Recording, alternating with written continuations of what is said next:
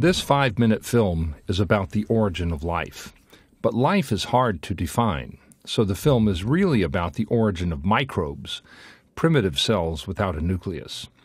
4.5 billion years ago, just after the Earth had formed, a Mars sized planet collided with the Earth in what is called the moon forming impact. This melted the entire crust and mantle. Massive amounts of magma were cast out into space, and from that material the moon was formed. As it concerns life's origin, the most important effect of the moon forming impact was to convert the Earth into a blazing ball of magma surrounded by vaporized rock. This boiled off all of the water that had come to Earth during accretion as steam into the atmosphere. All of the nitrogen from accretion was also expelled to the atmosphere, and importantly for origins, all of the carbon that had collected during accretion was converted by magma oceans to carbon dioxide that also went to the atmosphere. The surface of the Earth cooled rapidly, water in the atmosphere rained out, forming oceans that were twice as deep as today's, surrounded by an atmosphere of nitrogen and carbon dioxide, much like that of Venus. The last impactors made the surface a dangerous place to be, as any land environments were under constant attack. It was much safer at the bottom of the ocean, and this is where the chemistry relevant for origins was taking place. Most people know about black smokers, the hydrothermal vents that emit 400 degree hot water and that sit on top of submarine spreading zones. But there are other kinds of submarine hydrothermal vents situated far away from spreading zones. These off-ridge vents are less well known, but they are extremely relevant for life's origin because of their internal chemistry. If we take a cross section, we can see that black smokers sit directly over a magma chamber. The water that circulates through them is superheated by close contact with 1200 degree hot magma.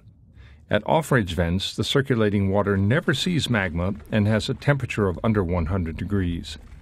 With these initial conditions, a process called serpentinization takes place that is essential for origins. Serpentinization generates chemical energy in the form of hydrogen gas. If we zoom in, we can see how hydrogen is produced. During serpentinization, the circulating water reacts with reduced iron minerals in the crust. They convert water into molecular hydrogen, shown here as white balls, while the oxygen in water molecules, shown here in red, remains in the crust as iron oxides. This hydrogen is the source of energy and electrons at origins. The hydrogen can react with the surface of metals and minerals that are produced in the hydrothermal vents. Hydrogen is chemically activated by the outer electrons called d electrons of the transition metals. On these surfaces, hydrogen meets carbon dioxide from the moon forming impact, and the reaction of life is often running. The metals also activate carbon, oxygen, and nitrogen that can react with one another on the solid phase catalytic surface. This is called heterogeneous catalysis. In the laboratory, such reactions generate amino acids and the most central compound in all of metabolism, pyruvate, an organic acid with three carbon atoms. Because these reactions release energy, there is nothing to stop them from going forward. Energy releasing reactions are symbolized by flashes of light. Products can react further, and the backbone of microbial metabolism unfolds naturally along the lines of thermodynamics. Under the conditions of hydrothermal vents, 97% of all biosynthetic reactions in central microbial metabolism, starting from hydrogen and CO2, release energy.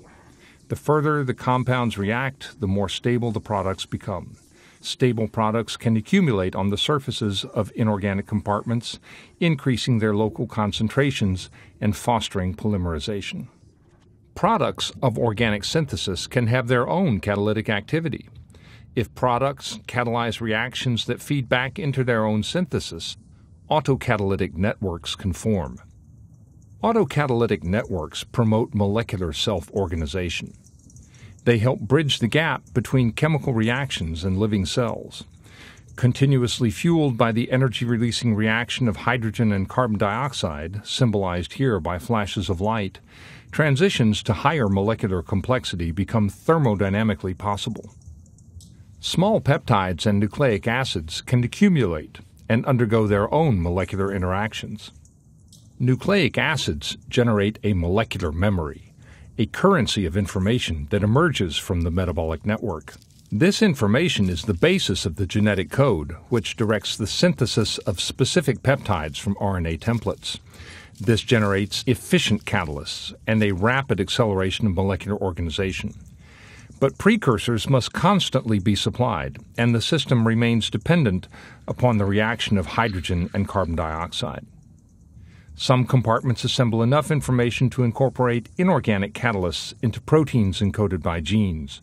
They can become free living cells, but their thermodynamic drive remains dependent upon the reaction of hydrogen and carbon dioxide.